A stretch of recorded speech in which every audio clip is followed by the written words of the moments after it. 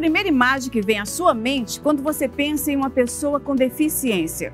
A pergunta parece simples, mas pode revelar o quanto somos preconceituosos.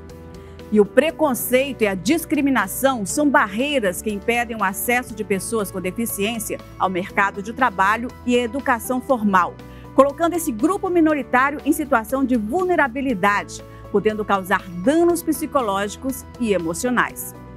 A discriminação de pessoas com deficiência tem nome: capacitismo. O nosso assunto de hoje. Entra na roda com a gente.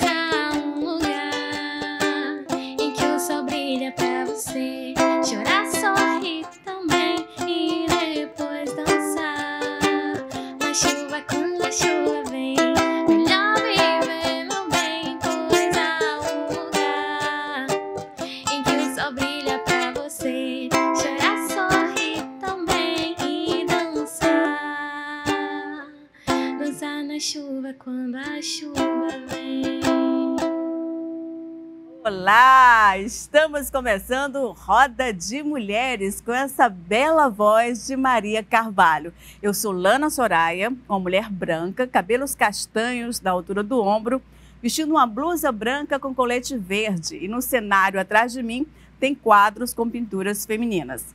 No programa de hoje vamos falar sobre capacitismo, um termo pouco conhecido que começou a ser estudado nas universidades do Brasil no início dos anos 2000, com base em estudos provenientes dos Estados Unidos e Inglaterra. Para falar sobre o assunto, estão aqui com a gente Marta Pereira, coordenadora da Pastoral da Pessoa com Deficiência e ativista da Frente Nacional das Mulheres com Deficiência, a Leneida Constância Rodrigues Lima, assistente social e especialista em saúde mental pela Fatene Calcaia e US, Verônica Furtado Monteiro, assistente social e escritora, e Maria Carvalho, musicista, essa voz belíssima que abriu o programa. Sejam bem-vindas, meninas. É um prazer grande ter vocês aqui. Me chamo Aleneira Constância, né? sou uma mulher negra, né? estou no momento usando óculos, né? É, sou cadeirante, sou PCD, né? tenho é, 34 anos, né? E é um prazer, né? É, estar aqui com vocês hoje para falar sobre um tema tão importante como é o capacitismo, né? Ele sempre esteve presente na nossa sociedade, né? Infelizmente, nós hoje estamos é, começando né, a refletir um pouco mais sobre esse tema, né, refletir um pouco mais sobre esse termo, porque o próprio termo ele é um pouco ele é pouco conhecido. Então, a gente hoje está é, refletindo um pouco mais né, é, sobre esse assunto para que a gente possa realmente mudar essa realidade. Ou seja, a sociedade ela foi educada sempre para excluir, não para incluir. Então, é uma coisa que já está enraizada. Né? Tanto é que eu e a minha amiga Verônica, nós fazemos parte também né, aproveitando a oportunidade da, é, da coordenação do GT Anticapacitismo do CREI Ceará, né, do nosso Conselho Regional. Então, assim, é muito, de muita relevância esse tema, porque é, nós ainda temos muito que caminhar e a gente só consegue caminhar e mudar a realidade quando nós passamos a refletir sobre ela e provocar esses espaços de reflexão, de discussão.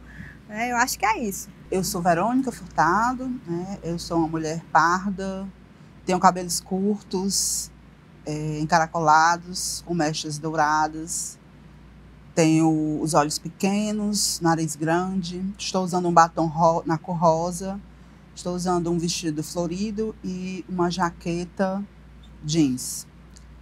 Falar sobre capacitismo é falar sobre o preconceito que existe desde o início dos tempos com relação à pessoa com deficiência, né? Porque o termo capacitismo realmente é um termo relativamente novo, mas o que ele significa, o que ele representa é algo que existe desde que o mundo é mundo. que é justamente o preconceito é, que é voltado para a pessoa com deficiência. E falar em capacitismo é falar sobre toda a nossa trajetória de vida mesmo, né, enquanto pessoa com deficiência. Né? Porque eu sou uma pessoa, uma mulher com deficiência física. Né? Eu tenho o encurtamento do, do membro superior direito, com a ausência do polegar, que me define, que me caracteriza né, como uma pessoa com deficiência. É, de acordo com a Lei Brasileira de Inclusão e a Convenção dos Direitos da Pessoa com Deficiência, né, a deficiência, qualquer característica, seja ela física, mental, sensorial, que, é, que a pessoa tenha e que seja uma condição de longa permanência, né? Então, assim, a, a deficiência, infelizmente, a pessoa com deficiência enfrenta inúmeras situações de capacitismo. Por quê? Né? Porque é importante a gente ter em mente que não é a pessoa com deficiência que é incapaz de viver em sociedade, né? não é a pessoa com deficiência que não tem condição de acessar. Na verdade, é a própria sociedade que apresenta para a pessoa com deficiência inúmeras barreiras. Né? Se essas barreiras elas não existissem, o acesso da pessoa com deficiência aos espaços seria totalmente diferenciado do que é hoje. Né? Porque assim, são várias as barreiras. E aí, muitas vezes, a gente pensa em barreiras, atitude, é, barreiras arquitetônicas, né? É, barreiras é, socioambientais, mas existem várias barreiras. Uma delas, que é também uma das tão importante quanto qualquer outra, é a barreira atitudinal. A forma como as pessoas com deficiência são tratadas. Né? Porque o preconceito contra a pessoa com deficiência é justamente essa capacidade de imaginar que a pessoa com deficiência, por conta da sua deficiência, é inferior às outras pessoas que não têm nenhuma deficiência. Né? Então, assim, é, é, importante a gente sempre estar tá refletindo sobre isso, né? Que o capacitismo é isso. Né? Romper com o capacitismo é fazer com que essas barreiras elas sejam superadas e destruídas, para que a pessoa com deficiência consiga realmente é, ter acesso a todos os espaços. É, e ter a compreensão também que a deficiência é um fenômeno social, né? não de um corpo individual. Exato. Uma informação que é bem importante, que a Convenção né, sobre o Direito da Pessoa com Deficiência vem trazer essa inovação em reconhecer a pessoa, né, em reconhecer a deficiência como uma condição da pessoa, né? Uhum. É a pessoa com deficiência. Então, a gente não diz que nós somos deficientes. Nós temos uma condição de ter uma deficiência. Né? E isso foi a, uma das grandes inovações dessa convenção. Porque antes as pessoas com deficiência já foram tratadas como pessoas deficientes, né? pessoas especiais, né? e outros não é até como doença, doença. e que fica assim muito claro que a deficiência não é igual à doença. E né? aí quando a convenção vem destacar realmente que a pessoa com deficiência, ela traz primeiro a pessoa, né?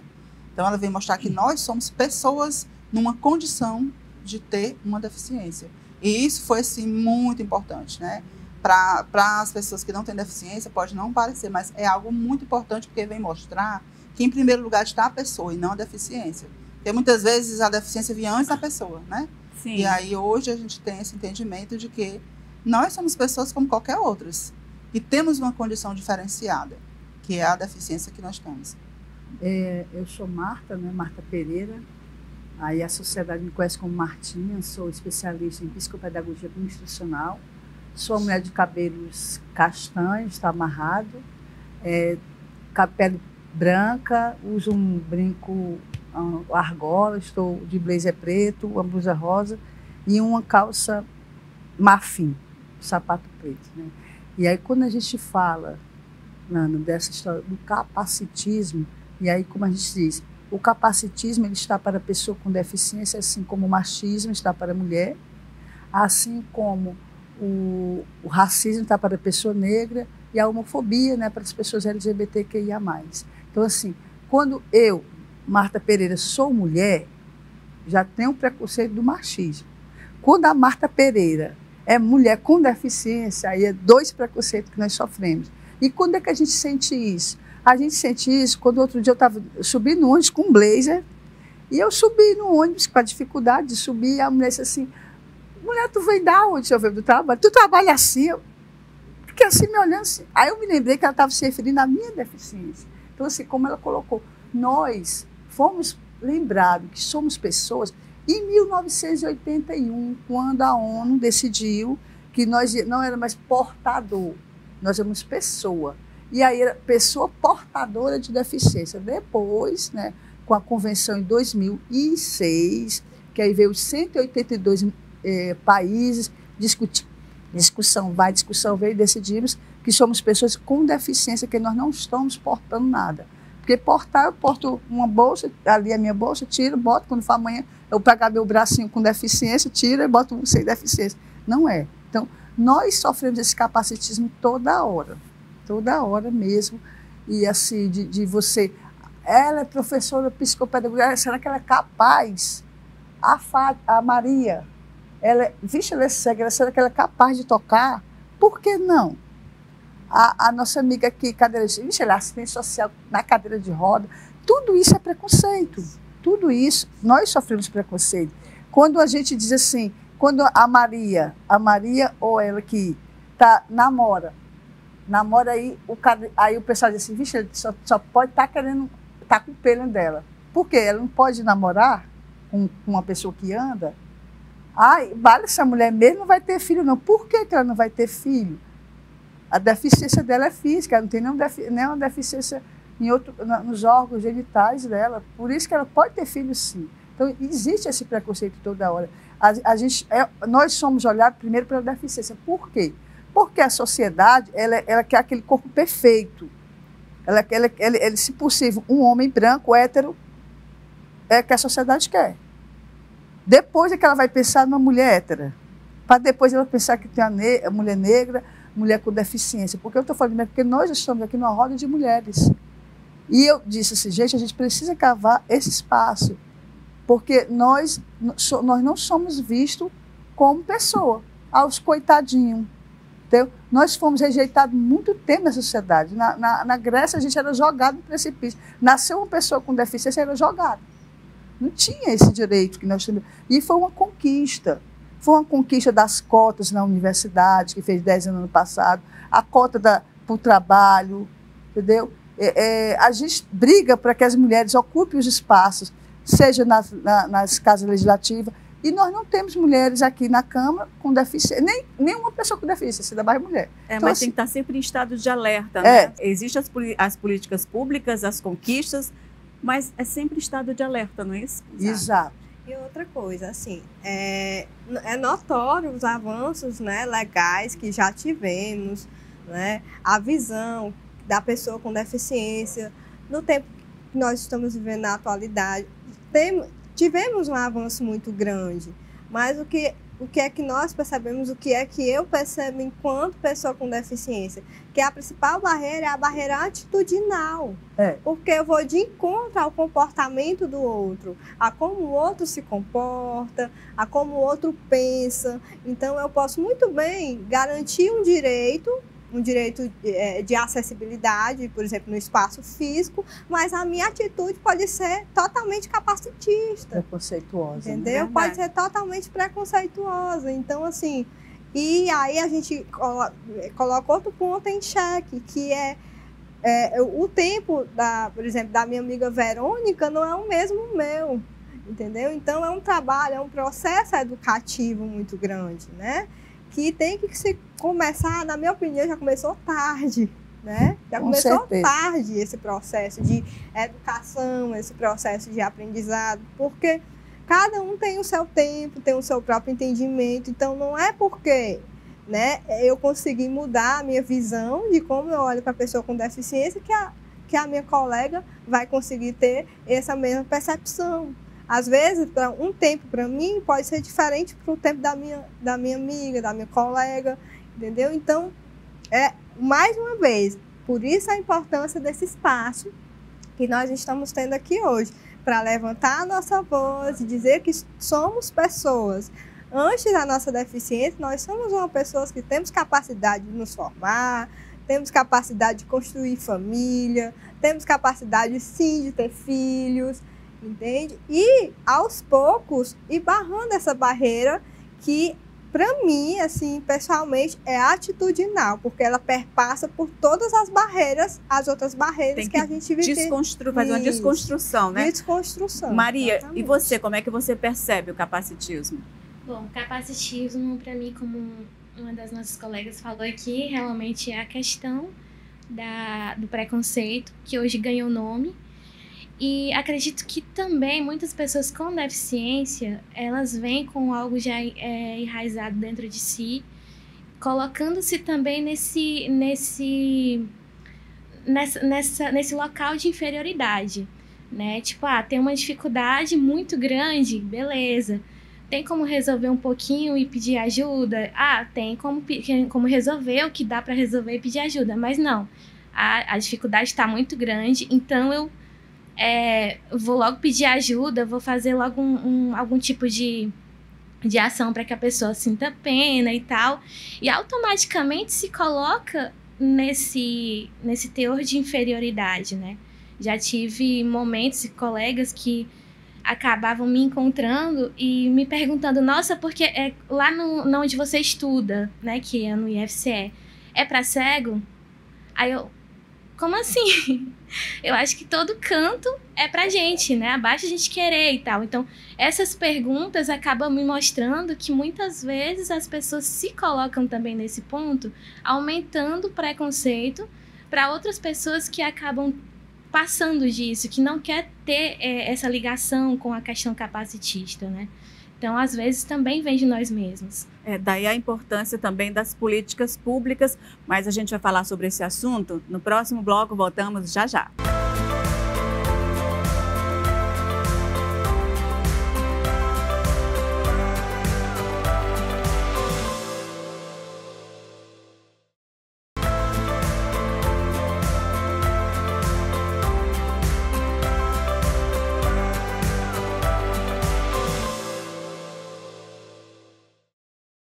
Estamos de volta com Roda de Mulheres falando sobre capacitismo e os desafios das pessoas com deficiência.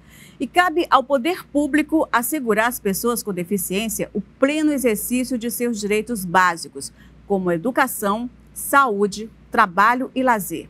No Ceará, temos o Centro de Profissionalização Inclusiva para Pessoas com Deficiência, inaugurado em 2014, objetivo de garantir o desenvolvimento educacional e qualificação profissional da pessoa com deficiência. Vamos ver o vídeo e voltamos para comentar.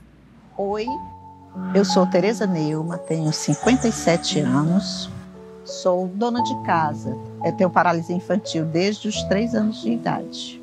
Conheci o CEPID, comecei na natação, que me ajudou bastante no físico e no psicológico. Depois comecei a fazer cursos de informática, inglês. O CEPID, ele muito me ajudou, muito foi e é importante na minha vida. É um, um local totalmente adaptado. E a gente trabalha com capacitações de uma maneira geral na área de profissionalização para pessoas com deficiência e depois a gente tenta inseri-las no mercado de trabalho. Temos também toda a área do paradesporto, né, com tênis de mesa, o basquete em cadeira de roda, handball em cadeira de roda. Dançar é sair de si para bailar no universo onde você tem tudo, pode tudo. Que nós somos capazes, sim. Nós temos uma limitação, mas que todas as pessoas têm limitação. E a gente está aqui para receber de braços abertos aquelas pessoas que queiram sair de casa e investir em si mesma, melhorando sua autoestima. O essencial é invisível aos olhos. Maravilha. Uma importante iniciativa né, contra o capacitismo. Inclusive no CEPID é uma instituição onde você pode estar contratando pessoas intérpretes de Libras, né? É. Na Conferência Estadual de Assistência Social, agora que, que aconteceu semana passada, foram contratados profissionais intérpretes de Libras para estar fazendo a interpretação lá no, no evento. Assim, eu acho que pensar em enfrentamento ao capacitismo é pensar em democratização do acesso. Porque nós não perguntamos a uma pessoa que não tem deficiência o que é que ela precisa para estar nos espaços. Né? E aí, quando se pensa em pessoa com deficiência, a gente tem que pensar de que forma a pessoa com deficiência vai ter garantido acesso ao espaço onde ela se propõe estar. Então é importante que todos os espaços eles sejam acessíveis, né? E aí esse acesso vai ser de acordo com cada deficiência, né? A pessoa que é surda precisa que seja garantido o intérprete de libras em todos os espaços para ela realmente ter aquele acesso garantido. É, a pessoa que é cega precisa ter um piso tátil, precisa muitas vezes, né, ter uma pessoa para dar o apoio, né? Quando ela solicitar. Porque tem pessoas que não precisam. E por aí vai. Então, assim, são várias as formas de garantir esse acesso. Que aí a sociedade ela tem que realmente buscar estar preparada para isso. Porque, infelizmente, muitas vezes, quando vai acontecer algum evento, alguma, alguma atividade, a, a, aquela organização só garante aquele acesso se naquele evento estiver já inscrito uma pessoa que tem alguma deficiência, por exemplo. Se tiver uma pessoa surda que se inscreveu para participar do evento, é garantido o intérprete de Libras. Se ninguém tivesse inscrito com deficiência, né, da, da deficiência auditiva, não é garantido esse intérprete de Libras, como já aconteceu em vários espaços que eu participei. Só que não é o fato de ter inscrito alguém com a deficiência auditiva que vai ser o que vai garantir esse acesso, não. A gente tem que garantir que exista esse acesso. Para caso, eventualmente, alguma pessoa com a deficiência auditiva esteja presente, ela possa realmente participar de forma efetiva, né, daquele espaço. Então, pensar em enfrentamento ao capacitismo é pensar em democratizar o acesso. Certo. O CEPID, ele faz essa, essa inserção no mercado de trabalho, que é outra dificuldade que se tem, né? Porque apesar de todas as cotas, mas ainda existe esse número pequeno de, de, de contratação de pessoas com deficiência no mercado de trabalho. O CEPID ele é um espaço muito importante para nós, pessoas com deficiência, porque tem essa história do esporte, tem cursos né, para que as pessoas se qualifiquem e insere as pessoas no mercado de trabalho. Né? É, uma, ela é uma escola o dia todo, né? as pessoas entram, saem, e ela se sente inserida. E, outro, e um, um detalhe bom de lembrar, que não é só para pessoa com deficiência lá, pode ser para qualquer pessoa qualquer pessoa, justamente essa história de a interação entre a, a pessoa que tem deficiência e a pessoa que não tem, para justamente a gente estar tá inserido nessa sociedade, não é, é, a segre, é segregado, só a pessoa com deficiência aceita todos, a prioridade é as pessoas com deficiência. Mas o importante é isso, é que as pessoas com deficiência, elas estejam em todos os espaços, que as que não têm deficiência tenham justamente para a gente todos os dias combater esse preconceito que nós chamamos de capacitismo. Né? A pessoa deve estar perguntando, mas por que o capacitismo? Porque quando você diz, ah, ela é incapaz de fazer, eh, de aprender a ler porque ela é cega. Então você está usando preconceito do capacitismo. Ela, ela é capaz sim de aprender a ler, dependendo do que é fornecido de acessibilidade para aquela pessoa que tem deficiência visual. Se, se é fornecido todo a alfabetização em braille, os aplicativos, aí ela vai, ter, ela vai ter as mesmas chances que eu, que não sou cega, vou ter que não sou deficiente, com deficiência visual, votei.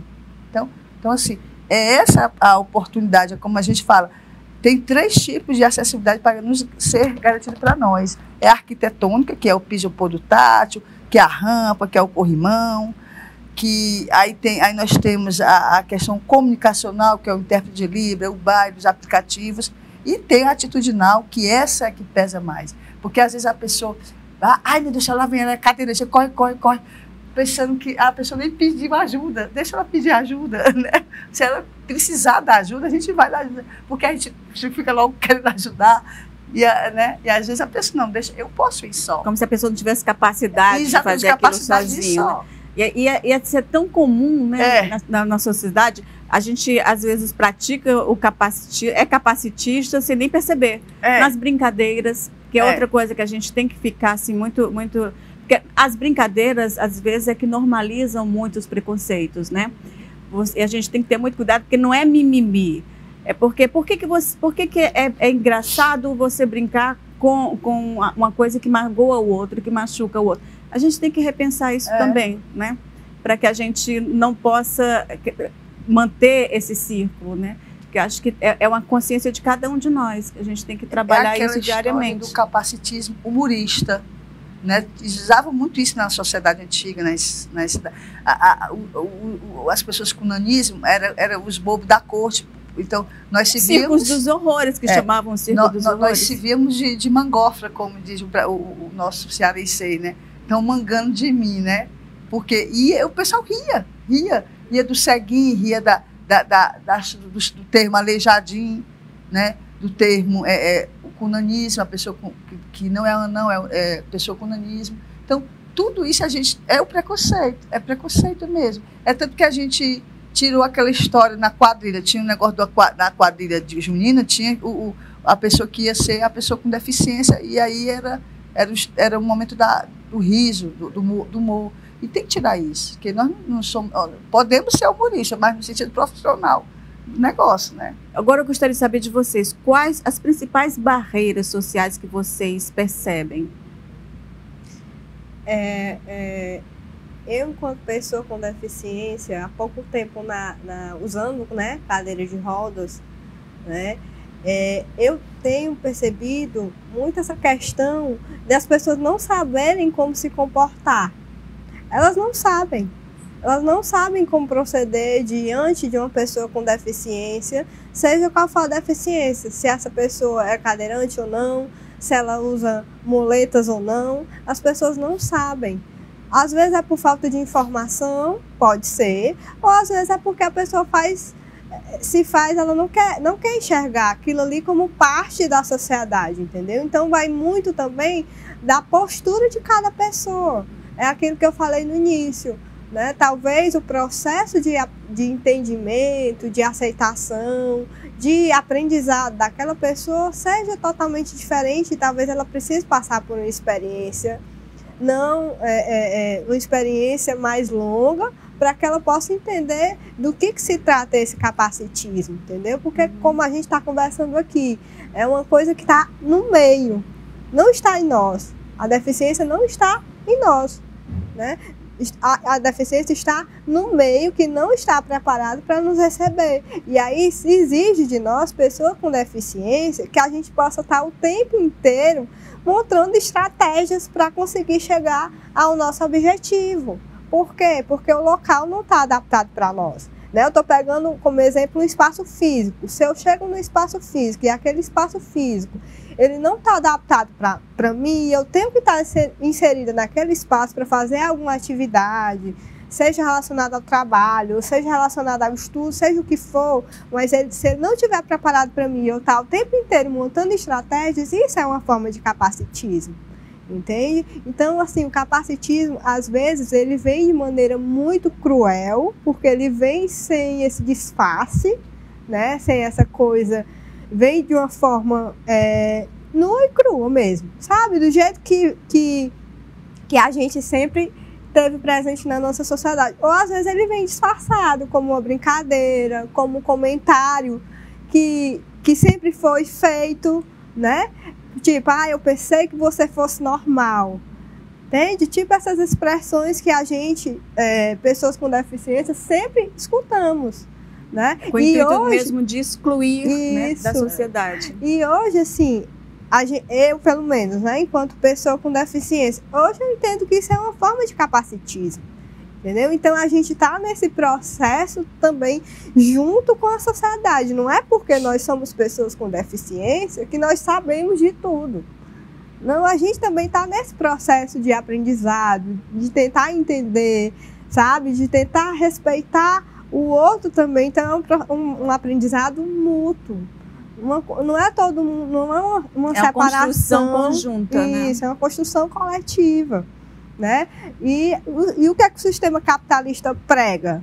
Ele prega que você tem que obedecer um ideal, você tem que obedecer um padrão, você tem que trabalhar, você tem que estudar, você tem que ser branco, você tem que ser bonito, você tem, né, tem que estabelecer aquele padrão. E quando você foge disso, que é estabelecido pela sociedade, você fica totalmente em desvantagem, como se o erro fosse seu. Fica à margem, né? Isso, você fica à margem, você, é como se você não alcançasse aquele, aquele, padrão. aquele padrão estabelecido por ela. Entendeu? Por isso que eu digo que se- é, chega a ser cruel, porque a sensação que nós temos, que eu tenho, é que nós estamos é, o tempo todo competindo para ver quem é melhor. Não, nós É? realmente essa sua sensação, ela, ela é real, porque da maneira como se coloca a sociedade nesse consumismo, de, que- de um corpo perfeito, de, de, né, de um padrão de beleza como você colocou, então as pessoas estão sempre lutando, brigando para atingir e não vai, não vai conseguir isso nunca, Nunca. né? Porque é, é algo muito idealizado que não existe, só existe na- nas, nas revistas.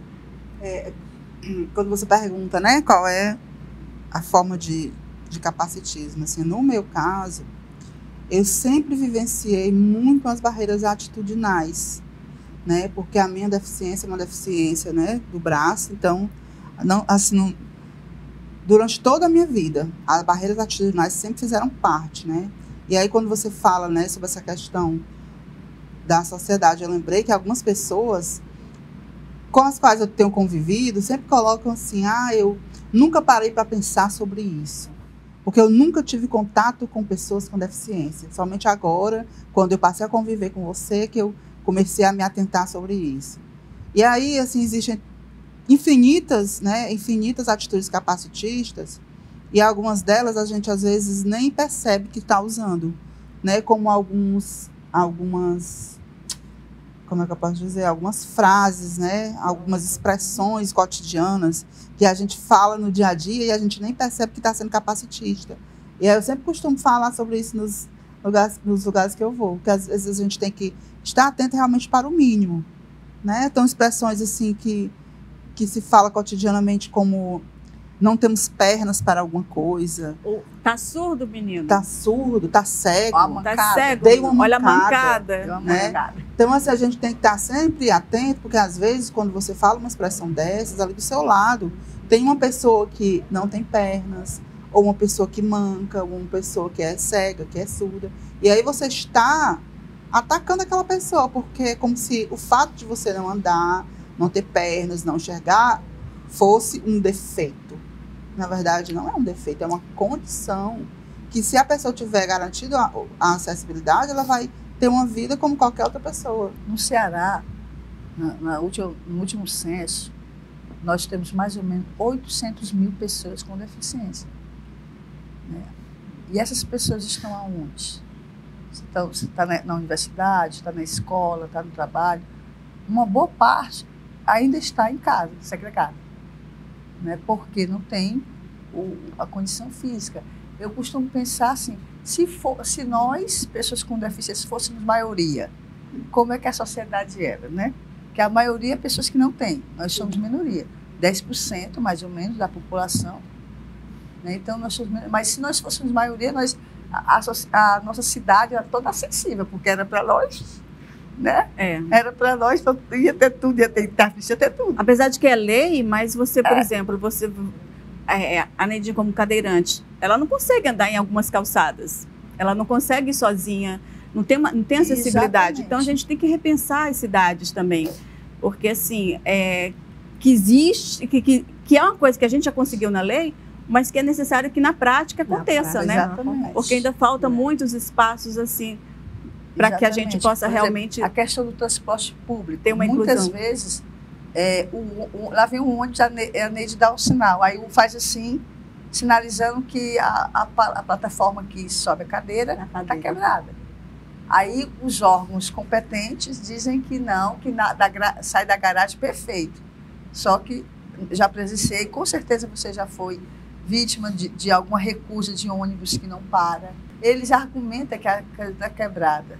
Né? Então, assim. Quando na verdade isso. é uma, é, é uma barreira atitudinal. É, né? exatamente. Muitas vezes é. que está atrasado, que não quer perder algo. É. Aí usa desse argumento que não. Que não Que dá não- tempo, que está atrasado. É, E é o que, eu, eu- e é o que a gente está discutindo aqui desde o início. Às vezes você garante um direito que está na nossa, na nossa lei, está na nossa convenção, está na nossa lei de inclusão, mas a sua atitude ela é capacitista, é. entende? Então é um trabalho muito mais profundo mesmo e muito mais É demorado. porque é estrutural, não é? Exato. Então é um trabalho que é, é um trabalho diário né, de conscientização. Nós mesmo, cada um, né, quem está nos assistindo também, tem que fazer, pensar se está sendo capacitista, em que momento que está, como é que ele está lidando com o outro, como é que ele está enxergando o outro. Então, é um trabalho diário para que a gente possa desconstruir tudo isso. Nós vamos encerrar esse bloco com a Maria, pode ser Maria? Pode. E voltamos já já. Deus me proteja de mim e da bondade de gente boa, da bondade da pessoa ruim. Deus me governe e guarde, ilumine Zé assim.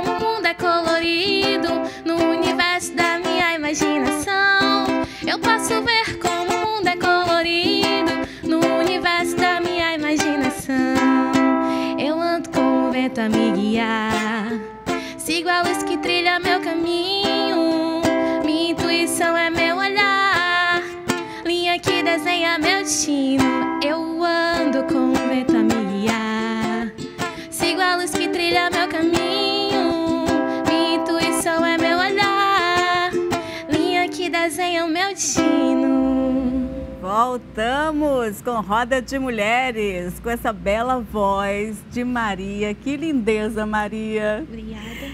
Muito obrigada por você estar aqui com a gente. Eu gostaria de conhecer mais um pouco do seu trabalho. Me fala um pouco aí como é que a música surgiu na sua vida. Bom, a minha a música surgiu na minha vida. Eu tinha, eu era muito criança. Meu irmão era pagodeiro e eu gostava muito de ouvir ele cantar e de cantar junto. Não podia ver o microfone, né? Não podia, Olha. de jeito nenhum. E aí essa essa vontade foi crescendo. Eu fui aprendendo instrumentos, fui tendo contato com eles, fui gostando. Com 13 anos em uma ONG, eu conheci o teatro. Também me apaixonei pelo teatro. Você faz teatro também? Também Ai, me que apaixonei. Eu sou, Então, na verdade, é uma artista completa. eu Sou licenciada em teatro atualmente, né? Minha formação, no geral, é o É teatro. o Cefet que você faz? É, foi no IFCE, eu, eu me formei lá. Sim. E, e, tipo, ele veio na minha vida como aquele processo realmente de inclusão, porque eu tinha saído de uma escola especial para a escola regular. Então, para mim, fez muita diferença a arte.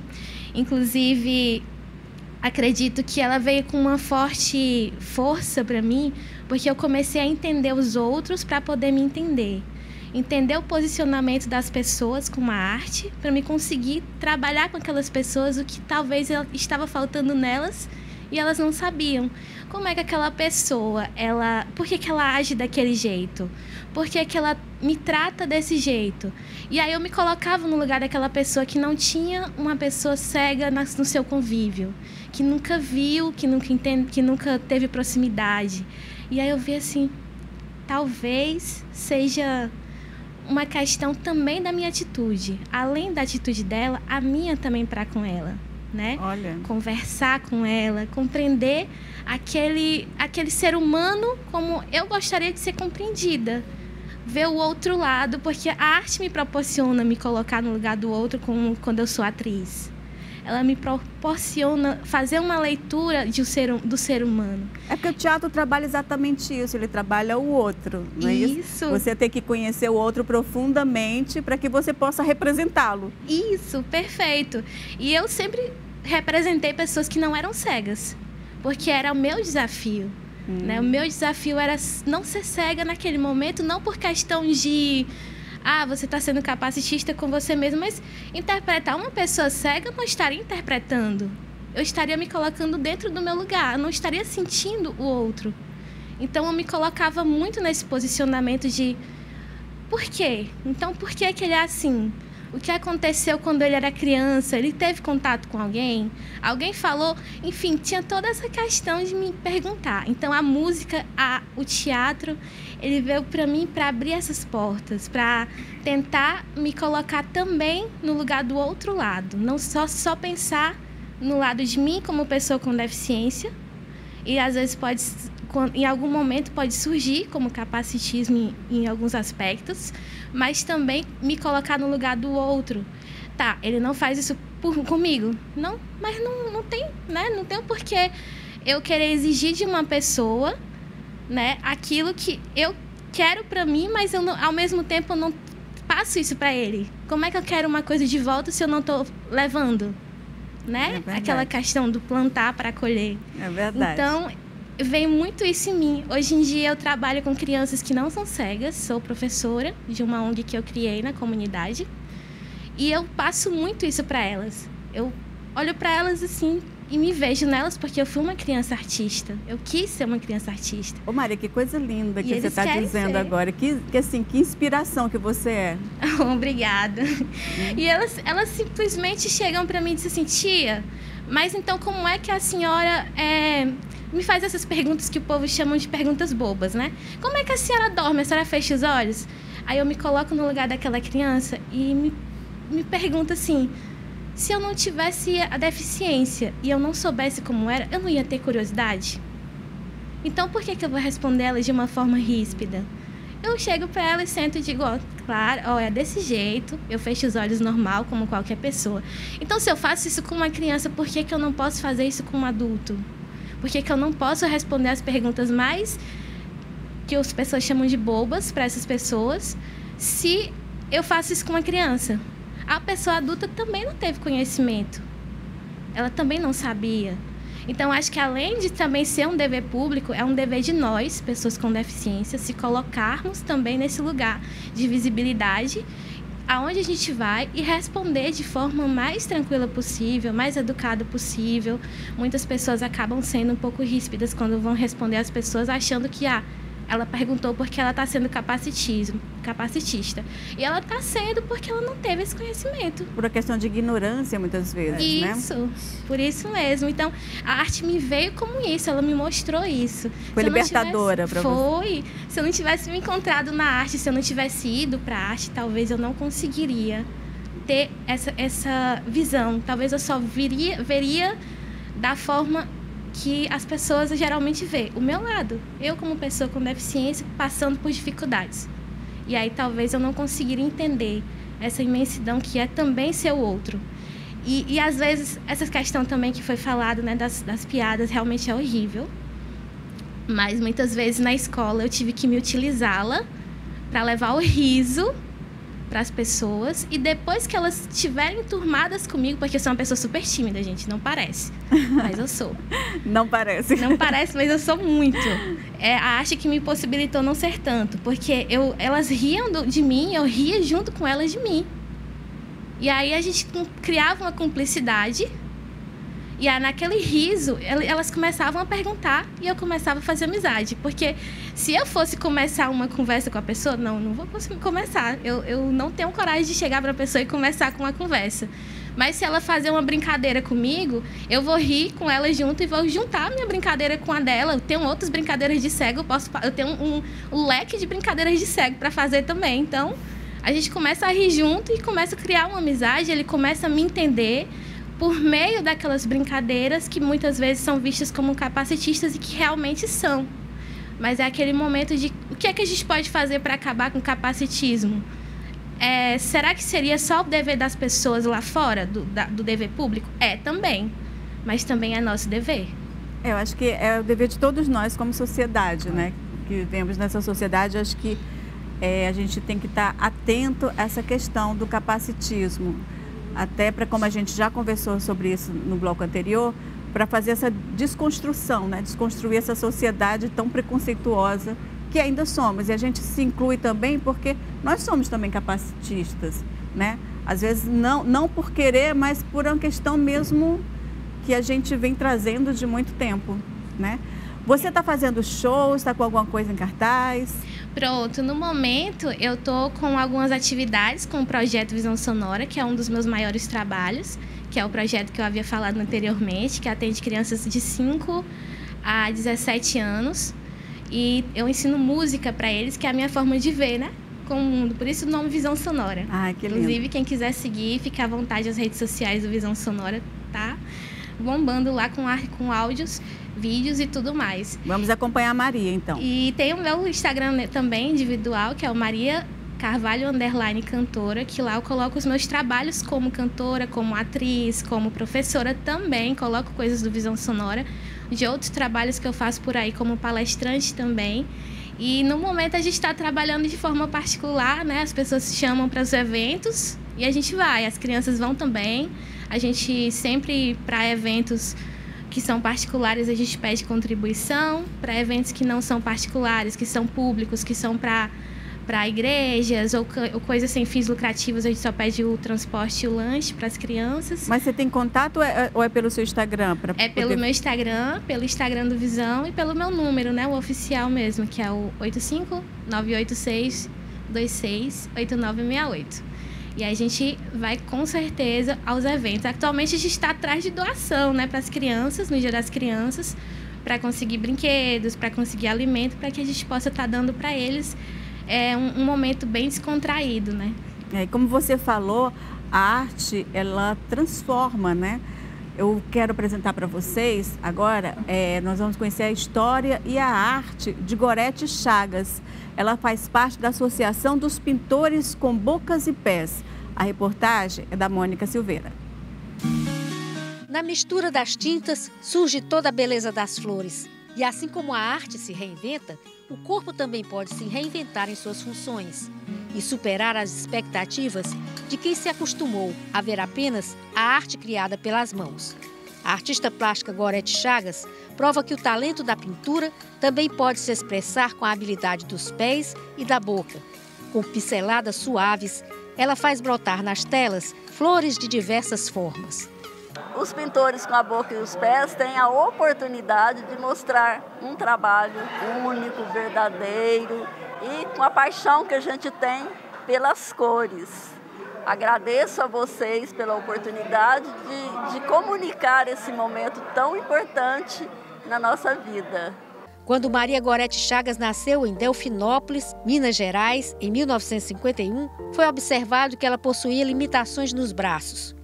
Mas com o apoio da família, sempre foi tratada como uma criança igual às outras, o que certamente contribuiu para mostrar que de limitada ela não tem nada Formada em Educação Artística, com especialização em Semiologia da Comunicação, licenciatura em Letras, ela é autora de três livros.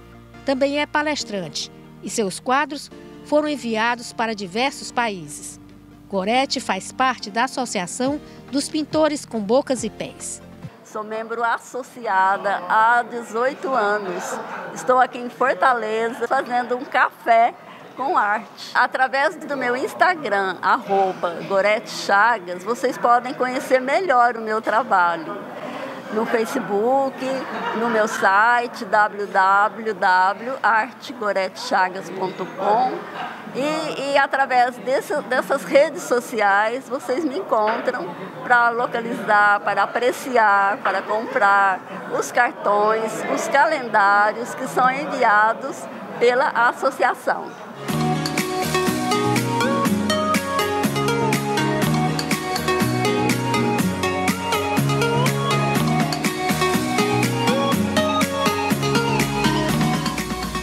Gente, que maravilha, né? A arte realmente é transformadora e é um bálsamo para a alma. A história que nós vamos ver agora é da escritora Dani Cardoso e que também é muito inspiradora. Ela está no lugar de fala. Me chamo Dani Cardoso e sempre procuro me superar. Tenho paralisia cerebral, não ando e falo com dificuldade. Expresso-me muito bem escrevendo e, talvez por isso, sou formada em letras. Ao fim do curso, resolvi deixar de criar histórias apenas na minha cabeça. Em 2019, escrevi meu primeiro romance baseado no que passei na faculdade. Publicar esse livro se tornou o meu maior sonho, que agora se realizou. Diário de uma Jovem Cadeirante é um livro que eu queria ter lido na minha adolescência, mas que tive que escrevê-lo para me sentir representada como pessoa com deficiência na literatura. Não é uma autobiografia, mas o nome da personagem principal é Dani e ela tem muito de mim. Quero mostrar minha visão de mundo e ajudar a combater o capacitismo. Para adquiri-lo, basta entrar em contato pelo meu Instagram Dani Cardoso e, se você não for de Fortaleza, a versão e-book do livro está disponível na Amazon. Um abraço. Ô Dani, obrigada pela sua arte, viu? Muito linda, né, gente? Lindo. Meninas, infelizmente a gente vai ter que tá, terminar o programa, mas antes eu quero que vocês mandem um recadinho final para quem está nos assistindo, pode ser? Eu gostaria só de dizer que foi muito, muito bom estar aqui, né, participando dessa conversa. E eu espero que o que nós conversamos aqui possa ser é, ser uma inspiração para as pessoas, né? Tanto pessoas com deficiência como pessoas que não têm deficiência, para a gente estar tá sempre buscando conhecer mais, né?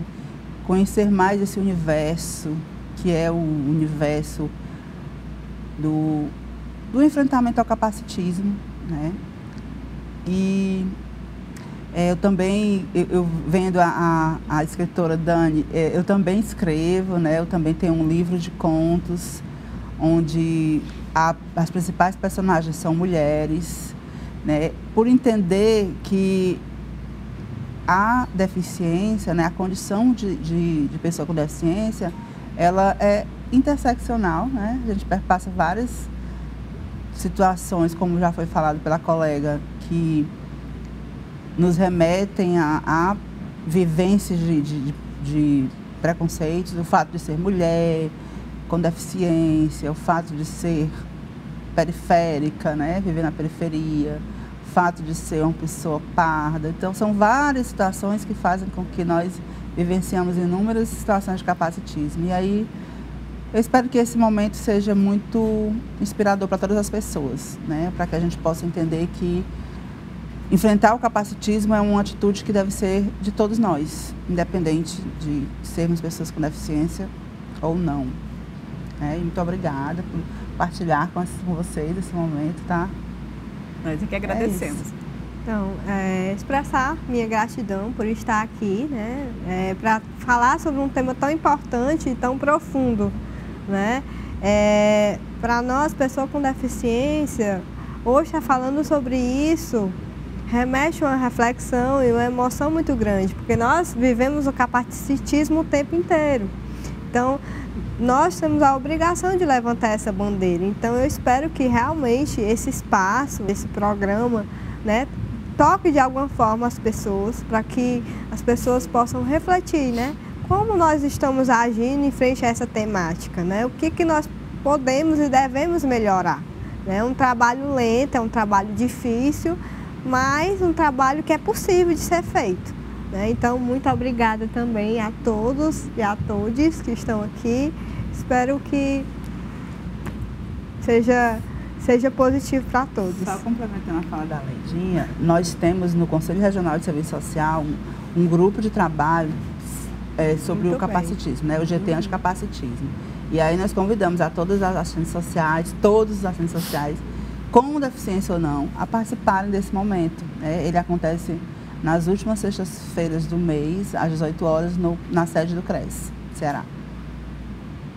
Eu também queria agradecer o espaço da TVC, né? Foi uma conversa de Instagram para Instagram, para que essa conversa nós tivéssemos aqui.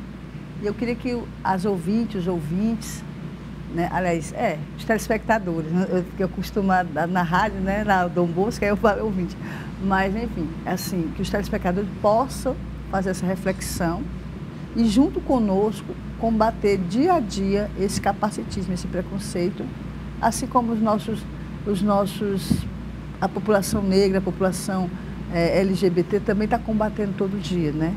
E aí nós mulheres somos vítimas duas vezes, por ser mulher e o machismo e ser deficiente, né? Ter, ser pessoa com deficiência e aí vem o capacitismo. Então que esse programa é para a gente ver, refletir e dizer eu não sabia que eu era capacitista. Agora, a partir de hoje, eu vou tentar me trabalhar para que eu combata esse capacitismo todos os dias. Então, muito obrigada, TVC, obrigada às, às camaradas que vieram aí para ajudar, nossa amiga Maria, só chama ela de Fátima, mas Maria cantando aí para nós, né?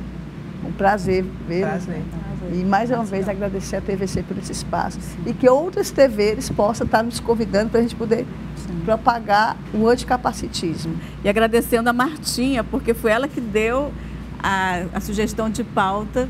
Você também pode nos dar, pautar a nossa conversa aqui, basta nos chamar através do Instagram. Então, queria agradecer muito né, e dizer para todas as pessoas que estão assistindo é, para olhar ao seu redor, e, e, prestar muita atenção nas pessoas, ver que cada um tem a sua singularidade, todo mundo tem os seus, os seus, é, os seus modos de viver, né, seus modos de, de trabalhar, e que tudo se resume em compreender o próximo, não pensar só em si mesmos, né? E eu acho que o capacitismo vem muito de a gente pensar somente no que a gente vê no nosso entorno e não ver adiante, não pensar ah, ver uma pessoa ali atravessando a rua ou esperando alguém que a atravesse porque tem a deficiência visual, e ah, não é meu trabalho, passo direto, né? Não, não, eu, eu tô andando aqui, tô apressado, não vou ajudar não, não vou nem oferecer ajuda, né? É pensar nessa pessoa também. E se eu fosse essa pessoa?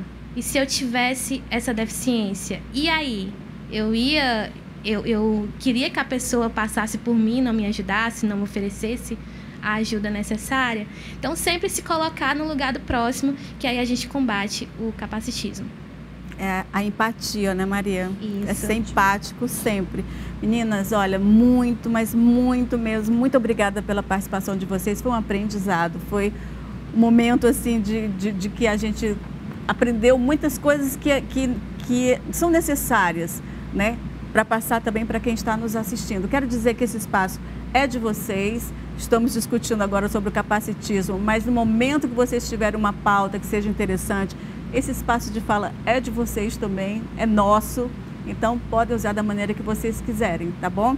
Mais uma vez, muito obrigada. E eu gostaria de encerrar dizendo que o capacitismo só termina quando pudermos enxergar as pessoas além de suas deficiências. Aí eu faço um convite para você. Vamos fazer este exercício Estamos encerrando mais um Roda de Mulheres, agradecendo às artistas Nívia Castro, Rosa Morena e Solana Salmian, que estão com seus quadros aqui em exposição no estúdio. Vocês podem entrar em contato com as artistas pelas redes sociais. Nós ficamos por aqui, agradecendo mais uma vez a sua audiência. Voltamos na próxima semana, até lá. E ficamos com Maria.